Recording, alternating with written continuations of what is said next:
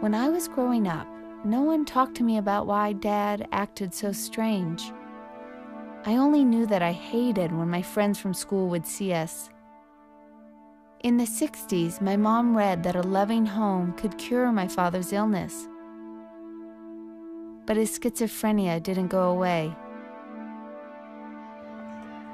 Now that I have my own family, I'm reminded that I was about my daughter's age when my feelings of shame began. My dad's illness motivated me to become a doctor, and over the years, I've met so many people who've experienced the same thing so much shame and silence.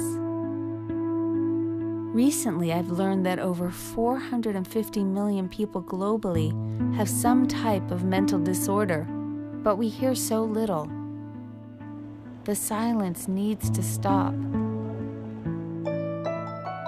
I've decided to travel to many countries to understand the stigma and discrimination against people with mental disorders.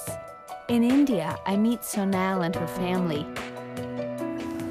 I sometimes think, is there any monster in me? Bad thoughts come on my mind in excess. Some thoughts go away, and again the bad thoughts come. To tell in this society, still not so broad-minded, still they have something to hide. We used to not to disclose this to other family members.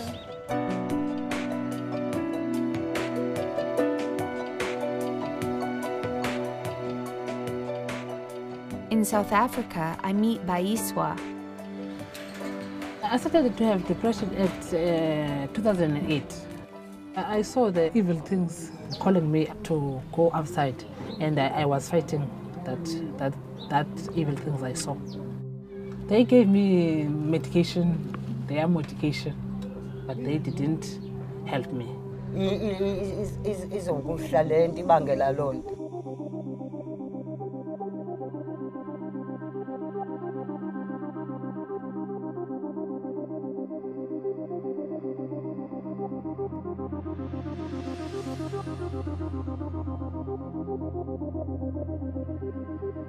In China, I visit a psychiatric hospital where I meet Jeff, a patient.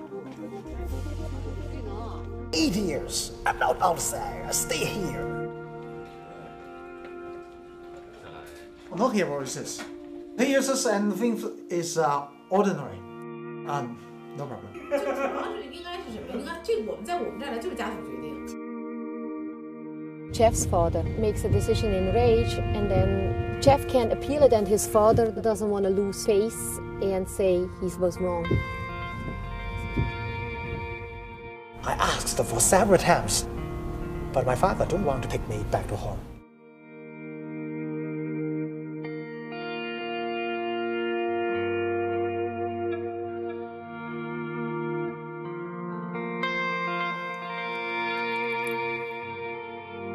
When Dad was getting the right support and treatment, things could be good. But if not, the psychosis that took over his brain could be devastating.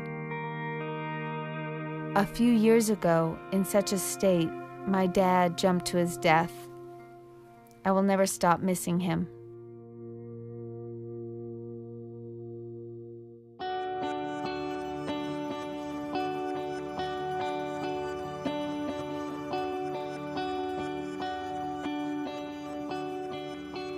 In Nepal, I was the first person to disclose my mental health problem.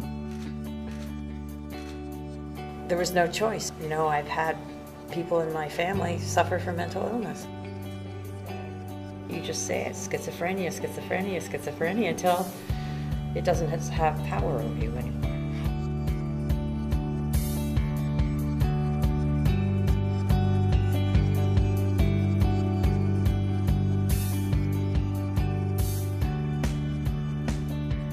Cause is biological. If you need more explanation about what that illness is, because some of you, for example, have not looked at autism in depth or bipolar disorder, you know, feel free to ask questions about that.